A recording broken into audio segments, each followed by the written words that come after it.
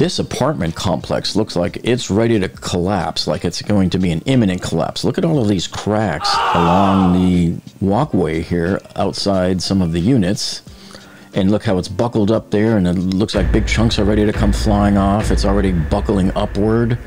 And check out this you've got total concrete spalling here with the rebar rods and look at the delamination of the concrete there. And then under the staircase look at this you got rebar poking out and more rebar on this side of this staircase.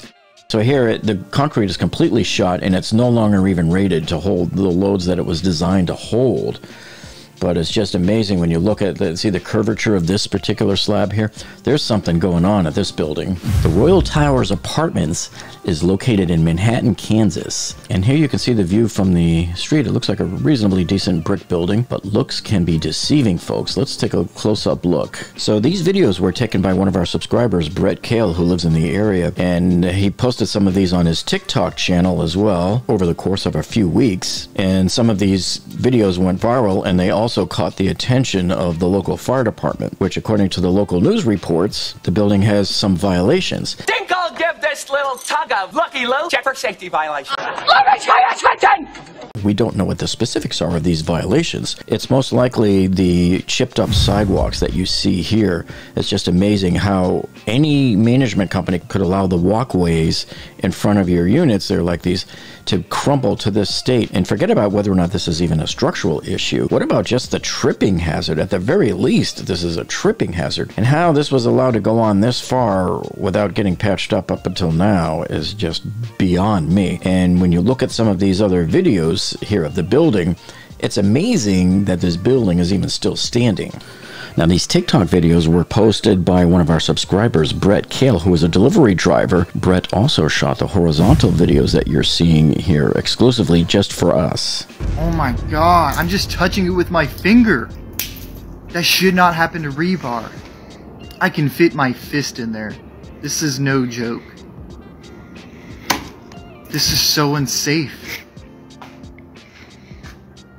Okay, so let's take a look at this previous clip here because I want to show you something with these two beams that are just mind blowing. So what he's doing here is you can see he's putting his fist inside this. This is a beam, an actual support beam, and you can see that it has suffered numerous cracks. And look at this, chunks of concrete here are ready to just fall off right now just by touching it. So this is very severe concrete spalling that you're seeing, and that's the rebar, the actual reinforcement bar that's inside the middle of the concrete is now exposed because it has gotten wet over the years and expanded and caused the concrete to shatter and crack. This has now compromised this support beam.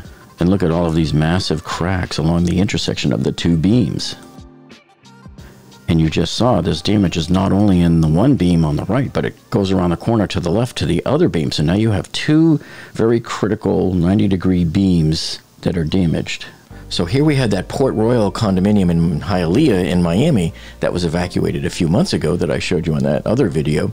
So my question is, is they evacuated that building because a couple of beams had some cracks and they even put shoring poles under them and everything to shore them up.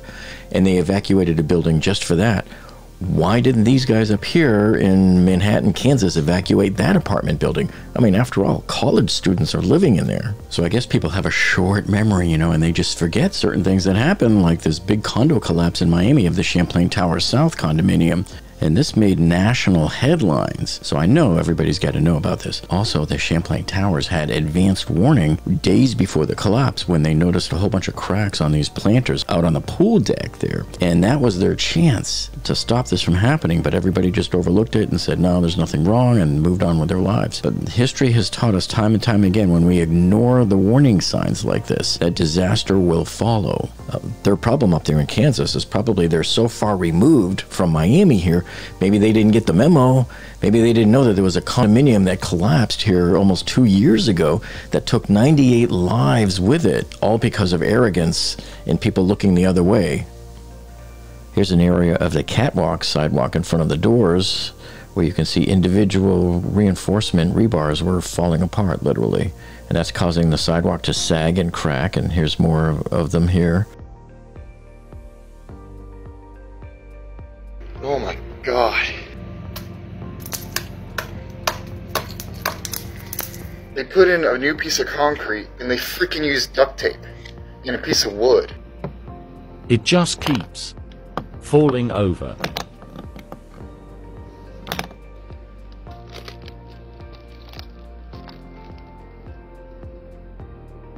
If you live in the Royal Towers, I suggest you move immediately. This place is getting worse and worse day by day. Guys, this is this is no freaking joke.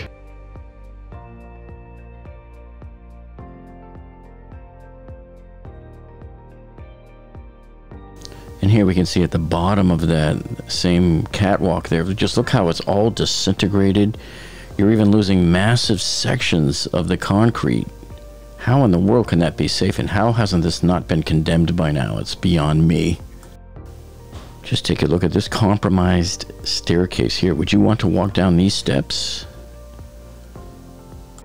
Here's all of the chunks of concrete that have fallen down off of the building below into the grass.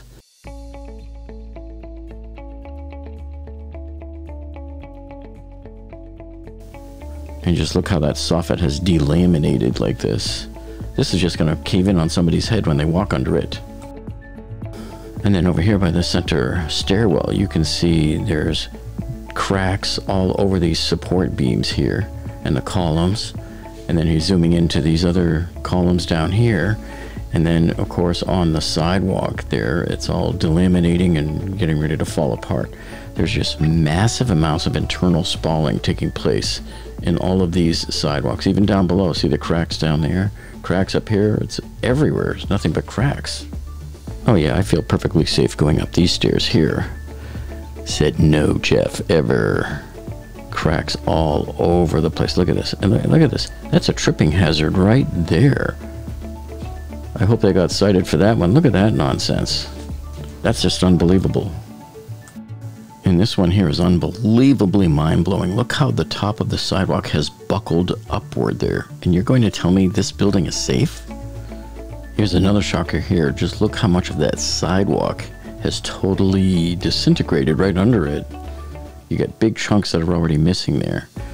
And then check this out here. You turn the corner here and look at all of this massive amounts of spalling. And I don't even see any warning signs about unsafe surface or anything.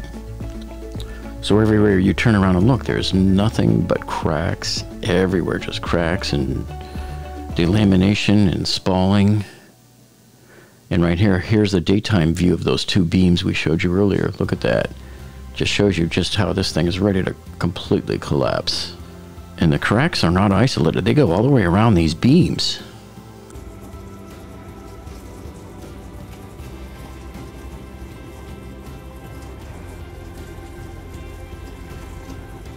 Well, I would love to set up a little webcam outside that building because you know that thing's coming down. It's imminent, folks. It's not even a matter of if, it's a matter of just when is it going to happen. I mean, you saw all of those cracks on those beams that are all connected together.